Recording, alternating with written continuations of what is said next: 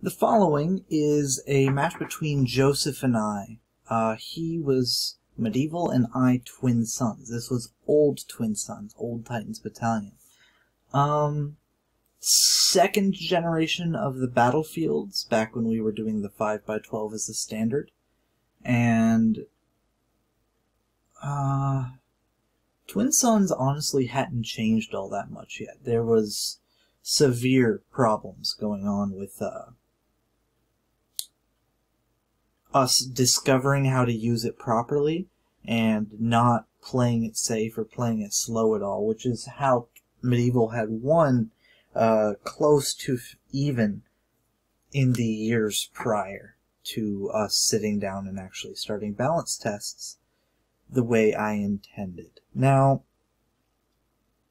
at the culmination of the uh, line of reasoning that came from this, we ended up doing game field testing for Twin Suns with uh, embers and on the smaller board, accounting for a lot of things. But uh, if you want to skip my explanation for medieval and Twin Suns' move sets, uh, the timestamp is in the description down below. With that, let's begin. This is the medieval battalion, based on chess.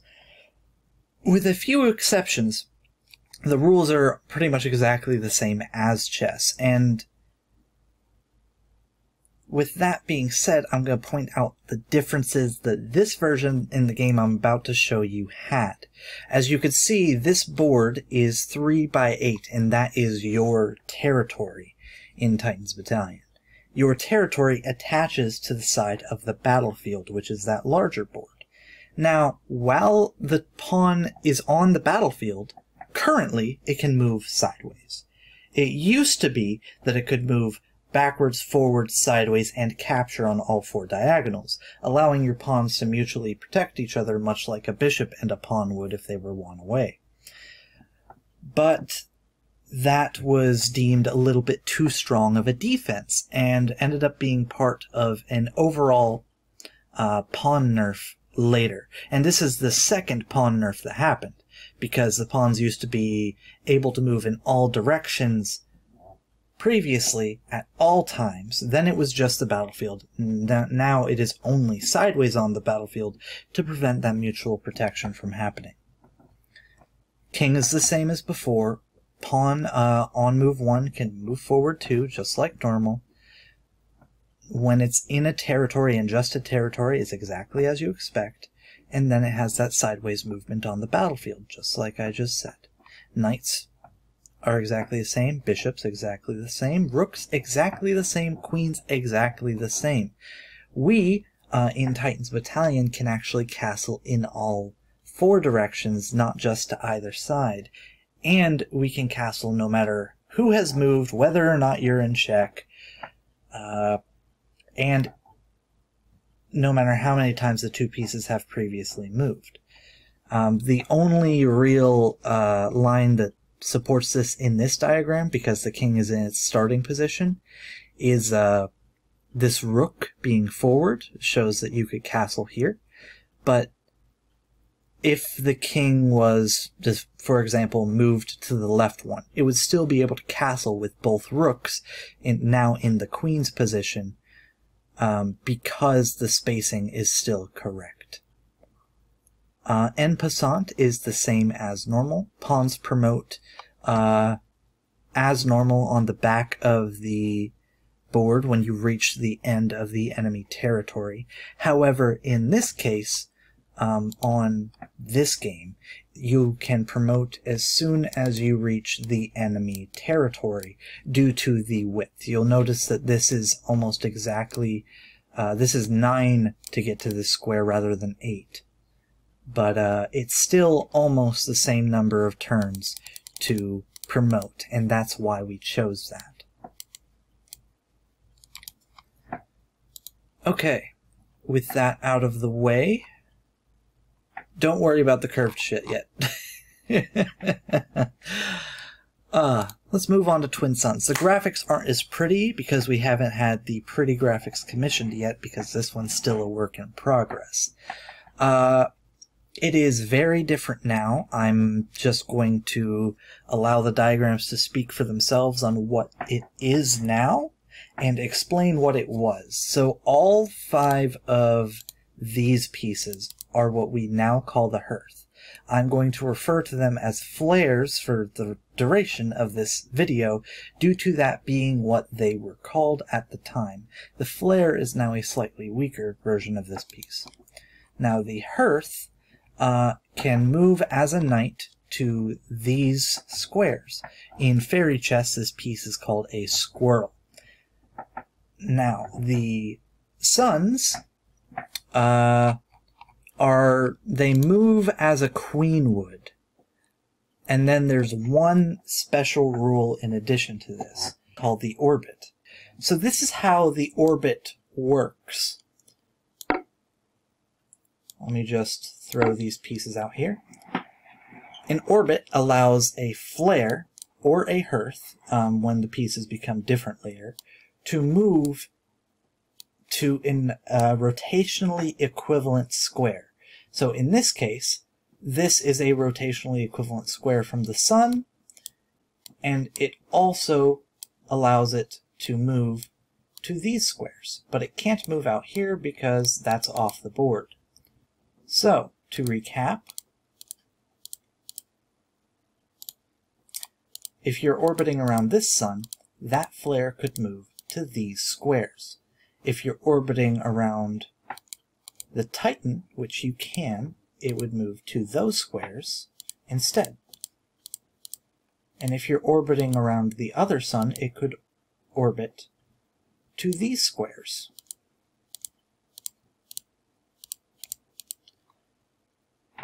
And thus, that is how orbiting works. One more thing, um, the orbiting move cannot capture. So if, for example, the sun was here and you wanted to orbit this flare forward, it could not capture that pawn even though it's the right square. This uh, this rule is actually kind of hard to see at first, um, but once you get used to it, you just sort of uh, treat it kind of like you would a knight with uh, the skew being the same and you looking in relation to the other sun which is why anytime I'm making arrows describing how the flare would orbit, I'm going to point it at the sun first and then to the final square so that I can more easily see personally how that works.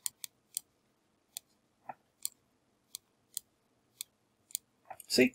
Makes sense.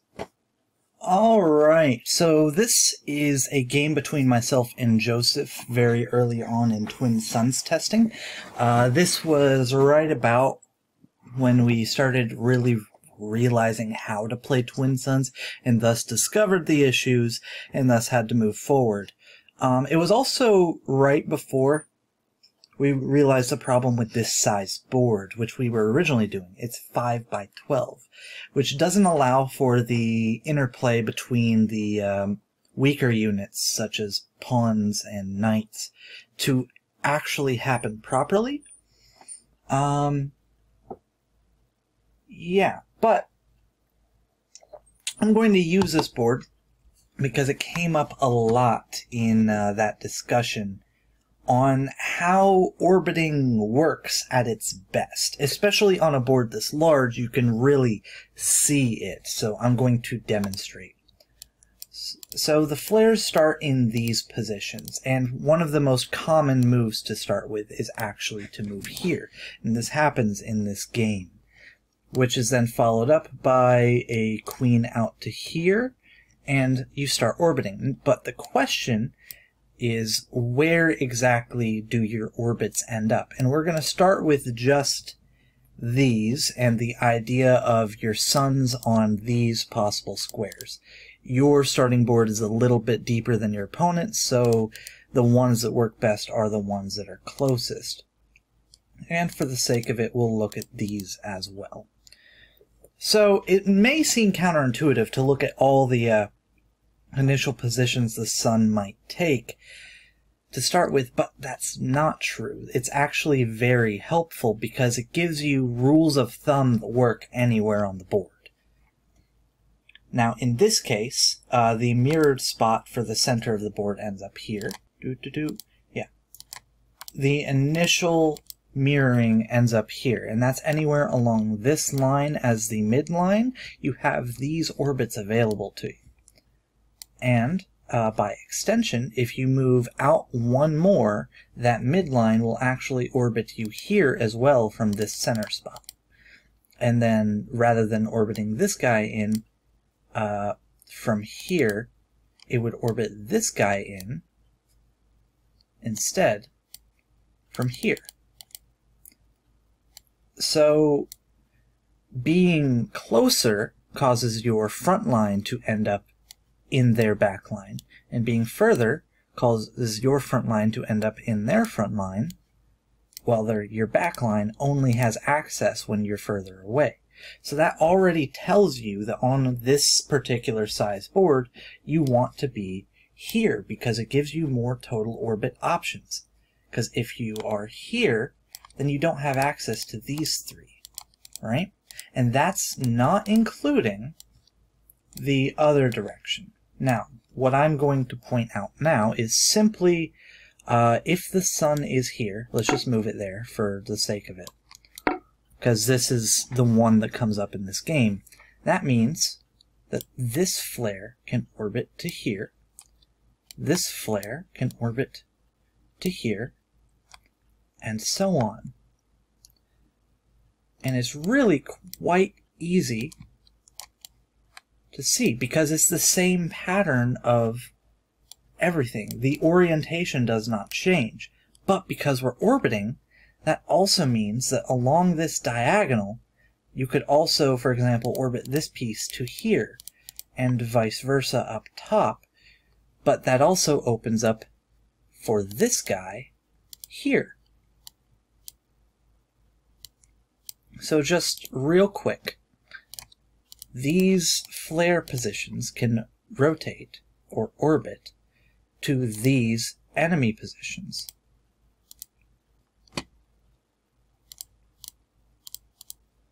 And if we just flip it real quick, it also goes there.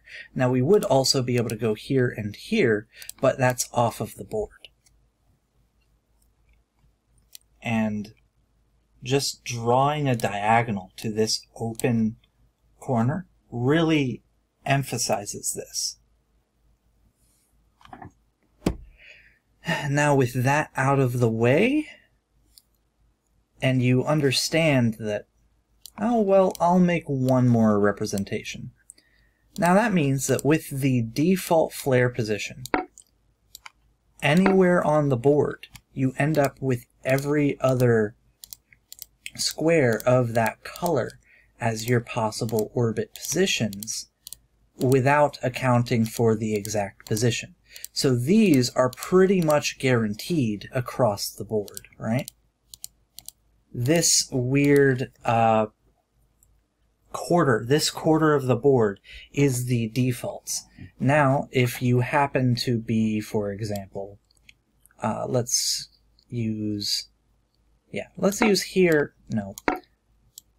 Let's use here as an example again. Not only is this piece able to move where you expect, but also it's able to move to another square. This does get a little bit more complicated because if the sun and the flare are not on the same color, they get more total options. Mostly on accident. So, for example, here, across the midline, it still orbits to the same square here, right? But the other square is going to be 4 out diagonally and 3 out orthogonally the other way, is here. Which you'll notice is not part of that initial grid. It's one off kilter diagonally. And that's the advantage. You want your flare and sun to be on opposite colors for maximum coverage because it gives you slightly different. Because if they're on the same color, you're stuck. in this type of grid. But if they're on opposite colors, you end up with a possibility space that's more like this type of grid. And with the one forward as the opening back when this was the formation, you also had one flare which had a different set of options.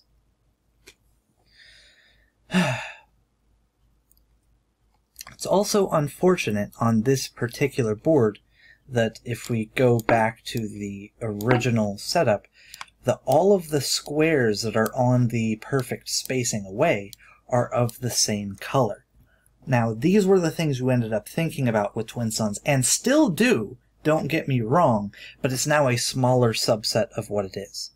Uh, it was recommended that we actually make a uh, sort of board color overlay when we finally get to making it in the app that shows uh, the rotationally equivalent squares along the best midline, which in this case would be these squares in particular being directly highlighted, um, since they are the uh, the target squares along these two midlines. One more quick note before we begin. Uh, on a board this size, you actually end up uh, drawing squares using whatever the enemy territory is in order to determine a normal board position. So the most important squares to attack medieval, which as Twin Suns is usually the aggressor, this is where the majority of the game will be played, are actually these four. Just like in normal chess, you want to control those four squares. And because I don't have any pawn type pieces that aren't going to be super slow to get there, I'm more than likely going to be able to contend those squares. Particularly uh, if at some point in the game, Not saying this happens, but if at some point in the game I have a sun here and a sun here, those are the normal uh, type wooden shield positions for the bishop so it applies the same way as it would on a normal board on the strength. Alright, and this game predictively starts with flare here, pawn forward, sun out in order to enable orbits.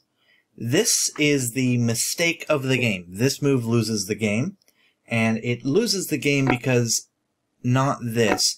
I should have, uh, as the Twin Suns player, immediately pressured this, but that's not what happened. Instead, uh, we kind of transpose into how that would have worked out because after sun here, pawn forward, flare forward, we have a very similar position to what actually happens in the game, orbiting the flare around that sun. But what actually happened was I was aiming this flare at this square. So, I moved it here. They move the pawn forward, and now I begin the pressure. Uh, they're forced to move back, which was the best move in the other scenario anyway, and then I orbit in. The pawn pushes forward to threaten my flare, but it is too late. They let me get an extra turn of tempo when they should have been developing something else. The flare moves forward. Um, there's lots of things going on here. For one, uh, this flare is targeting here and threatening to trade down with a bishop and gain a rook for free. Also, uh, this flare is threatening to do something similar on this square, but trade with a queen and take out the rook still, or potentially try to take out the rook, but the queen trade for the flare happens instead, and then uh, the bishop is exposed and has no escape then with check on the way, and it's just a mess. Uh, this move also I want to point out, because of this sun's position, its equivalent flare rotation is here, which ends up mattering a lot when this square becomes open later. So there's just a barrage because this flare's equivalent square is also here. So there's an argument to be made that way back here, I was too slow. And instead of moving here, I should have immediately moved here. After the pawn pushes, screw going here, I should have immediately orbited to here. and transposed in and just executed this faster. Now this way that I did it, uh, by moving this flare in quicker, is just it puts an extra flare into the mix that wouldn't have been otherwise, and I tend to think this is a little bit better in the long term. But we'll see. Flares here, pawn forward, flare there. They push this pawn. Best move here is actually knight, because after flare trade, bishop, sun, uh, the rook and the queen are mutually protecting each other, and every pawn and the knight is also covered. I also want to point out that this move, which threatened this flare, ends up mattering quite a bit later because due to the pawn's battlefield movement back then, it protects this square. But in the game, this is what happened. Uh, I immediately orbited the other flare in, bishop capture, flare capture, queen over, Sun moves out in order to reinforce. The knight jumps in the way, and I orbit the other flare in to reinforce. Pawn comes up, and right here is the third critical point of the game, where you have to find the right moves or medieval comes up and still wins the game. Even just mentally comparing this to what I want to do. I give up. Here's here's here's a cross cut of like six hours spent trying to analyze this game. Enjoy. Oh, fuck. Oh, my brain, it has so many wrinkles. Uh, watch this. yeah, this one goes there. I'm just saying that this square is this square. Oh, fuck. Fuck, fuck, fuck. No, you, you didn't. You, will see in the recording, I accidentally hit the back button instead of the undo button. And it hurt you? Yeah. Psychological warfare noted. Knick knack, frick frack, give a dog a bone? That square. This square, these two squares, it wants to be on this square. On these squares from behind, so don't take it too seriously. It's bad juju. I don't know which is better. I already have a really good move. It's gross. I don't even have to do anything fancy.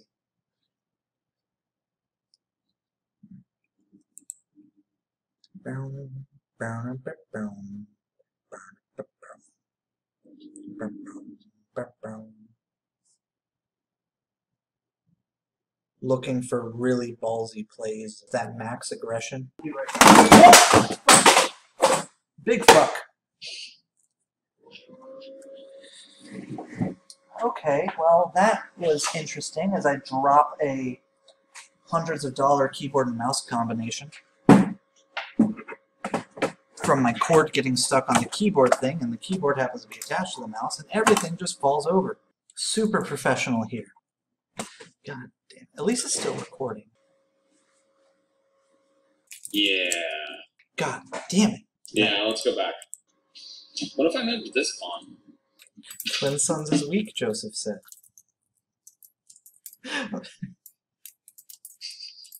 that is something I've said.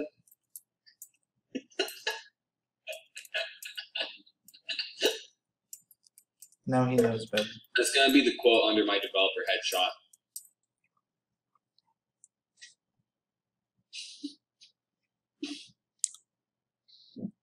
The problem with the problem with Twin Suns is you have to play it a lot before you can actually use it. Oh yeah, it has a very high skill ceiling. Very low skill floor, like barrier to entry is super low. But the skill ceiling is way up there. I keep going off on tangents. what's pawn there give me? What's pawn here give you? Uh, a dead pawn, a dead bishop, a dead rook, and a dead flare. So then my flares are mutually protecting each other with a queen here and a dead bishop for a flare. But that gives me a lot of influence on your starting board. Oh boy. Orbit. Capture. Capture. Orbit. It would be on the same idea, this square and this square, which, no. Uh, actually, this square and this square would be the ones? No. I'm terrible at this. This square, this square. Absolutely. 100%. Which might be pretty bad for me, to be honest. Alright, so And then pawn to here. Okay, pawn there. Yep, pawn to here. Your move. Did I go too deep? What do you mean did you go too deep? Into your territory without more backup, potentially. Maybe. Hmm. That's what I'm hoping for. Maybe, maybe. It's not cut and dry, that's for sure. There's ideas of flare capture, queen capture, maybe. No. What if I do that? Yeah, what if I just throw this flare into here? Queen has his pick of the litter. Then what? Nothing? Queen would pick this one because if Queen picks this one, then Flare takes what? So Queen would capture here. Okay. Especially since it's check, so that is a forced move. Oh yeah, that is check, so I would have to capture that. and forced moves are beautiful. Okay, here's here's an argument. If I move my queen here, I'm threatening to come in and nearly mate this whole shebang. So it would be queen capture or sun capture, queen capture, flare capture, titan can't. So there's just a flare here and here. But this flare could, would be dead before this. So this flare actually does die. So I'm a turn slow to have this column locked down with my sun which looks like it's what I need. Very astute observation. If at any point Twin Suns is given an extra free turn for no reason, mm, I'm not going to bring that up for any reason at all. If if Twin Suns just has one more turn, they win the game on the spot. Totally don't accidentally give Twin Suns a free turn several times during my six hour analysis. But this is such a fun idea. Just a cool idea. Yeah, Sun here is just pawn captures Flare. The 1st Mhm. And then the question is, can I follow up properly? So sun here, flare dies, flare here. Can you do anything about that? Well, then this flare's threatened. Oh well, This flare just dies to that queen. this Flare's targeting, so I can't. No, but you you can't kill this flare with the queen because then I mate you with this sun. So this queen is actually stuck here protecting this pawn. So this flare actually gets to survive an extra turn and can then come in and join the attack. And my hmm. sun doing this is still a threat, and then they trade off. My So- flares are protecting each other here. Oh, that is awesome. Okay, yeah, I'm doing this. Oh, okay. The idea is flare captures or pawn captures flare right now. I sacrifice this flare for tempo to orbit a flare in. And you can stop that tempo by moving your knight here, but then I would save my flare and still have the threat of sun in, and then I just I actually still mate you, so you have to capture this flare if you don't. Okay, You say this up again. you want me to walk you through it? Yeah. So pawn captures flare. Flare is orbited from my side of the board to here. You can't capture this flare because sun capture pawn is just mate in that case. So, since you can't do that, you have to find something else to do. I'm still targeting your rook for free at any time I can bail and just kill it. So I'm threatening both mate knight? and killing the rook. What about knight to here? Knight there does nothing because, well, it actually makes this flare able to die. So it's no longer mate, but then this flare can move in, for example. And then my flares are just protecting each other here. Yeah, but once this knight's here, then knight captures Sun.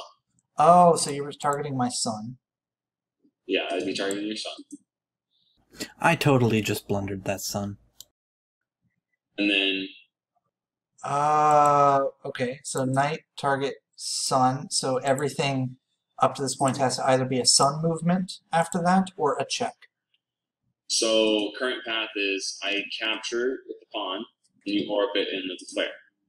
And I can move the knight. Yeah, and if you move the knight in, it's not as clear what happens next, other than flare here, pawn here, because this is check, so you have to capture. Flare here, that's also check again, so you have to move. And then potentially flare captures queen or some other movement, but now my sun has a laser vision on these two the moment the flare moves, so And then since Flare is here, you can't move there there. So this is your only move for the Titan. Okay, I'm gonna I'm gonna type this out. I'm gonna type this out. Uh, knight here, f4, pawn five, f6. Why wouldn't why wouldn't f4 capture this pawn? Um, f4 wouldn't capture this pawn because it's not check. Okay, so f4 is trying to. Yeah, because if I don't, if I do this, knight captures sun. Okay, so f4, pawn 5, f6. And then that's actually mate, well, from the looks of well, it. f2 goes to f6, right? This pawn going f6 is mate. F6 is mate. Straight up. But f6 wasn't mate, and things were about to get a whole lot more complicated. Mate in 3, Twin Suns Edition. We, we could play it out, see if you can find something better, but my if you capture this pawn and flare goes here, how do you stop flare f6? Oh, because you can maybe capture this now? But then if you do sun captures pawn, which is why we determined you can't kill off this flare. Oh. Well, okay, hold on. No. Flare, no. Pawn 1 captures flare. Mm-hmm. This flare orbits to flare 2. Yes. Knight moves to 3. Okay. This flare goes here. This is f4. F4. And then yeah. pawn this 5. This flare goes to f4. Pawn goes to f5. This flare goes to f6. So this flare isn't here anymore. No, it's so not. do anything with it. Well, f6 is mate. No, it's not. This pawn's here. We're stupid. This pawn's here. This yeah. pawn. Okay, so that whole line so doesn't work. Has been P7. We can back all the way up and I don't lose well, my flare. Because of pawn 7, I'm winning in this position. So K3 is a brilliant move. I have to leave in about 15 minutes. All right, let's let's break down all of this back to where it's at and leave it on my turn. I'm going to analyze this position for a while. That's a hell of an understatement. I have a beard now, dude.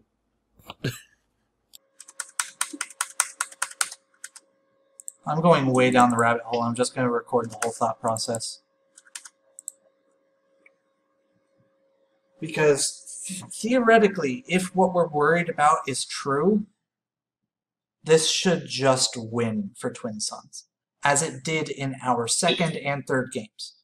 This is the kind we're worried about is true if Twin Suns can just aggro the shit out of everything and win, there's no reason that having this much influence on your board with the this the wooden shield being all the highlight cells. Yeah, right? if I I am fully on the offensive, I am fully developed, I am fully ready to engage your board. But it, but with S zero, you get screwed. S zero, I get screwed, but that doesn't mean things like this square with this sun don't work, or um, moving here for ideas, or throwing my sun in, moving my flares in different ways. I'm glad we started recording these, because especially with twin suns. Well, okay, I suppose just because we're actually doing balance testing, we're trying to figure this stuff out, or actually looking at it. Oh yeah. Like, I mean, we probably could figure out stuff like this, you know, 20 games ago. Uh, fuck. Sun Zero. Check. Pawn capture. Does nothing. Why? Develops a rook. You're welcome. God damn it. Alright, I'm I need to take a step back from this position. Okay. I'm gonna I'm gonna um, come back in like five minutes and I know you won't be here to discuss because you have to go. Hope you have a good time. Yeah. So yeah, it's a good thing though that we've gotten stuff recorded because we can go back and like look at our positions and have this for other people to look at too. You know what? I'm gonna mark that it's my turn. I'm going oh, to. A, yeah, I'm going to update, process, and post this video and ask Liam to look at it because my brain's fried right now. I, yeah, I have um, I have reached critical mass. Treat it as a puzzle. Twin suns to play and win. And here's the position. Twin suns to play and win. For the record, Sun here doesn't work apparently.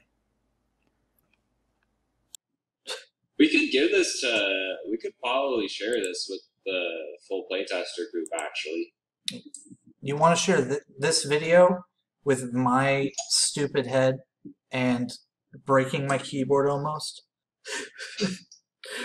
I would need to edit it. I'm gonna go. I'll let you um, do your match with Shane. Bye, Joseph. Fire on.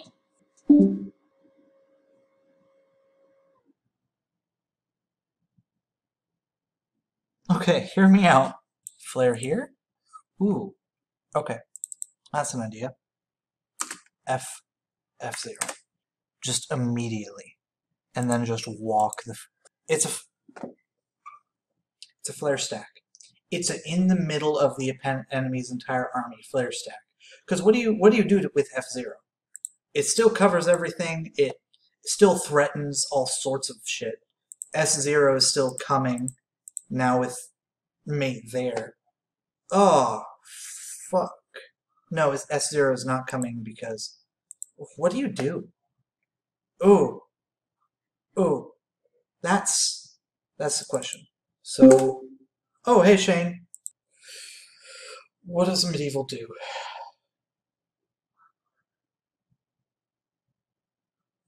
Because this orbit is still coming. This is still a thing, potentially. S0 is possible still, but now I'm not down a flare. But now this square isn't a threat. This is a threat, potentially. What the hell are you talking about? I am looking. Okay, go to Bravo Juliet 269 on Games 2. Bravo Juliet 269. Yeah. I don't want to look at that.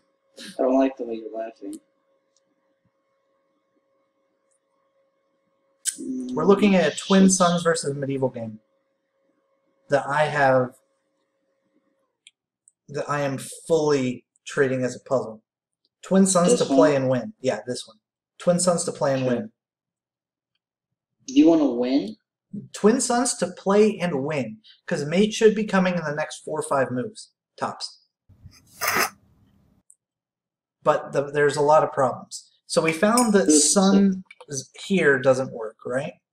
We also found that uh, Flare here immediately doesn't work. But there's Sun here has a very interesting line that only doesn't work because this pawn protects this square. Which this pawn protecting this square is preventing an entire exchange of involving flares here, flares here, and then sometimes mate, depending on if the knight has moved here to stop the sun or not. Sun here would just win if knight didn't go here.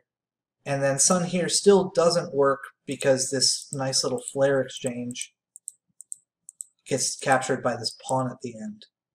And then I guess sun could move forward and it's not completely discounted. Well, um. Well, if Sun goes here, nothing could attack it, right? So it's just chilling. Yes. No, we we already went down that line. Right now I'm looking at the D4 pawn to B6. Or D4 flare to B6. So F0. Pawn is what is currently there.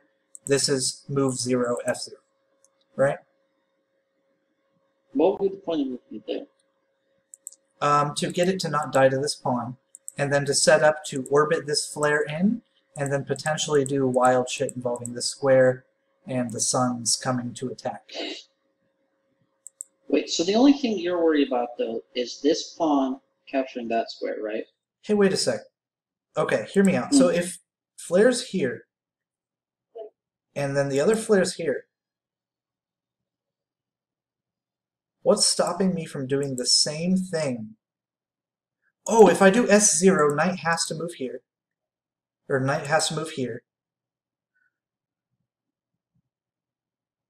And I'm threatening mate just right there off the bat. Okay, so what does medieval do after flare here? Flare goes there. Yes. Mm. Which flare goes there? This one? Yes. The one currently targeted by the pawn. You Mm, technically have a term, uh, a turn of uh, a lull in the storm. You don't have any major tempo against you, but there's two flares way up in your business, ready to fucking wreck shit. And you technically can move trade it. knight here. You move your knight back to target it. Yes, to target the flare.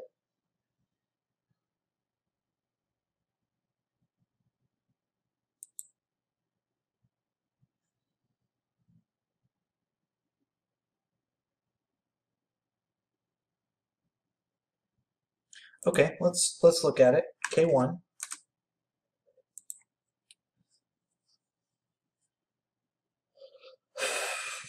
I my instincts tell me that's a bad move, but I don't immediately see why. Okay. So let's What's your next move? Okay, so I have a couple options. This is option Mm-hmm. one.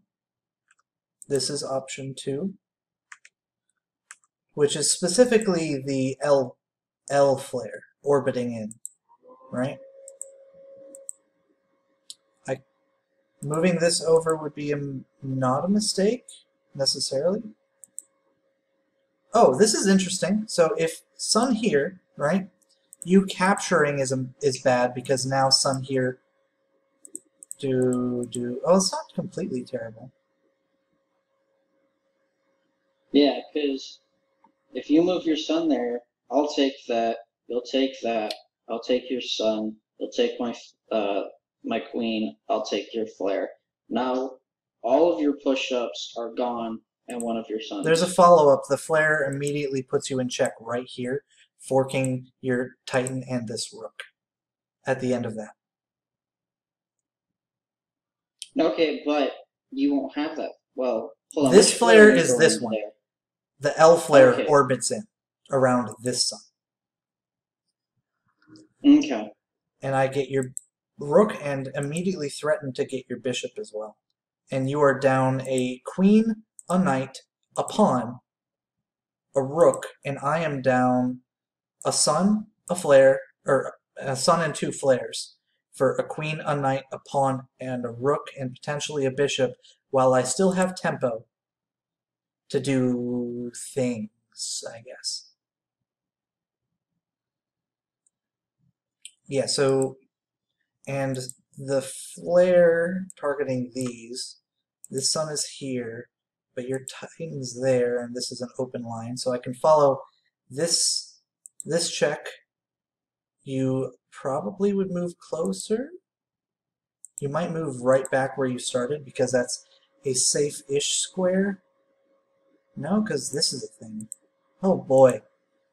This line goes deep. Let's let's just let's just start typing it out. Okay. So Sun 2 is the line we're looking at. And you want to do the knight captures line? Yes.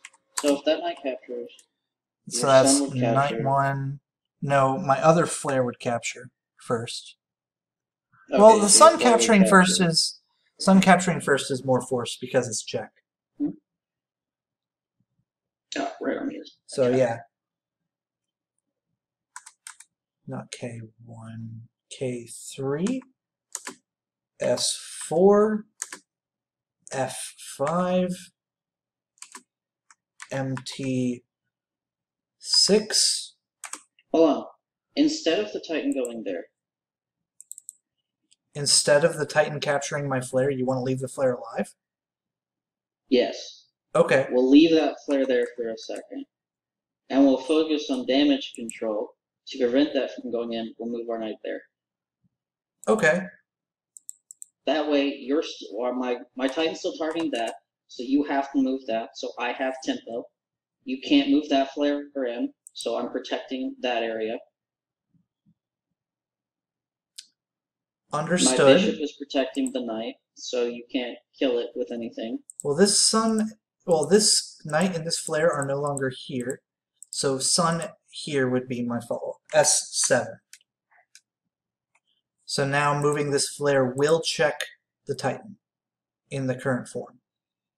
So I can Correct. move it essentially anywhere to like kill off your remaining rook and then I would just move my pawn here, preventing that, and it's protected by that pawn. Okay. So that's not the best. What about... Yeah, I don't want you to develop that. But it opens this square back up again, which is interesting. Yeah, sun here is much stronger because it opens up more orbit lines. Because now this flare could potentially orbit in uh, here if that pawn's ever not there. So S7 is here instead. Okay. So it won't be check, but now my sun holds the flare. So your damage control prevented this guy from coming in there, but now I'm Mhm. threatening for this guy to come in there instead. So then I can move my rook here and protect that whole line. Yes, but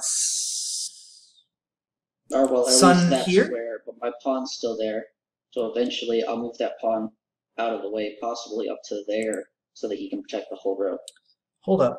So you're saying Okay. rook 8 to prevent that orbit, Yes. Mm-hmm.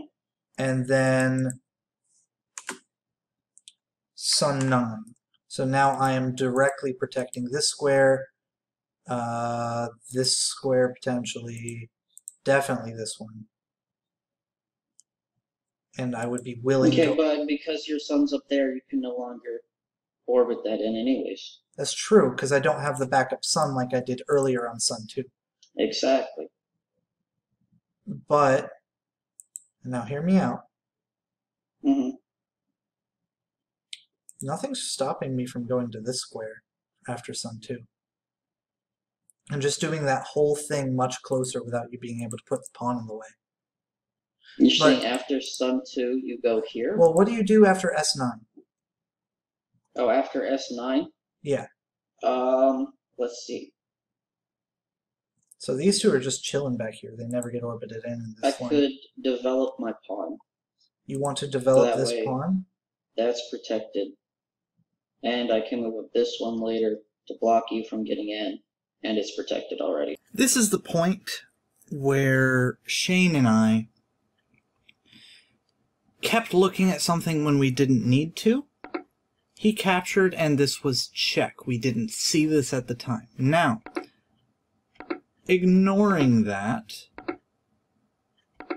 right, in this position, even with this and this check, king moving out of the way, this is probably best move even with all of that being said, he has a rook for each of my flares, and once they are anywhere close to the king, my flares are worth about seven to his five. I have a sun, which is, you know, a queen to his bishop, and he still has another minor in the knight and some pawns. So it's not completely lost. It's a playable position.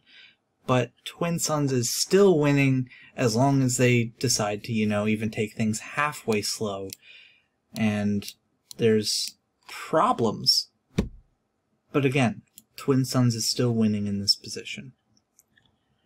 That being said, uh, five months later, I come in and do a deeper evaluation where I actually try to find lines.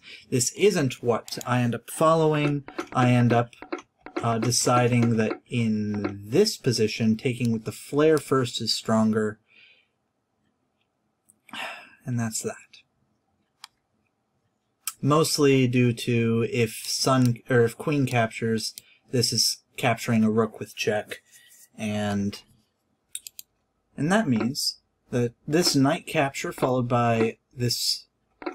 If you capture with the queen, it's a blunder.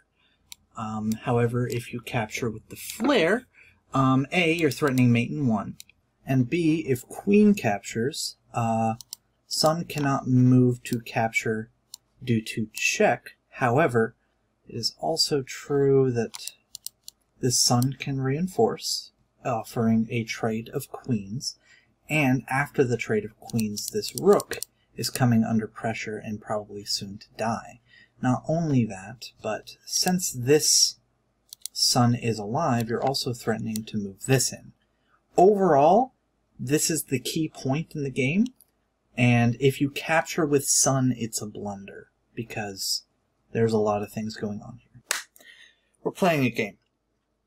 We're going to continue to play this game every time a video like this makes me lose my mind trying to edit it. It's it's really simple. Heads, we flip a coin. If, fuck. we flip a coin. If heads, you subscribe if you're not. If tails, you unsubscribe if you are. No cheating. No cheating for me either. I, I know I'm editing this and I have to look for a coin, but I promise you that first coin flip is the take. I have to find a fucking coin. Hold on. For your and my sanity, I'm going to be releasing the rest of the analysis in a time lapse in the near future. Look out for part two.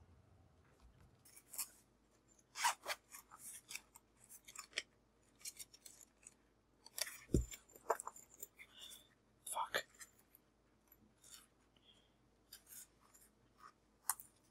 Fuck.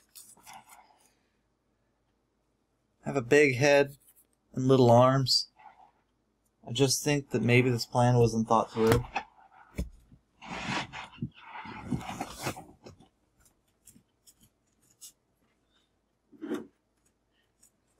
I may not have coins, but you know what? I always have dice.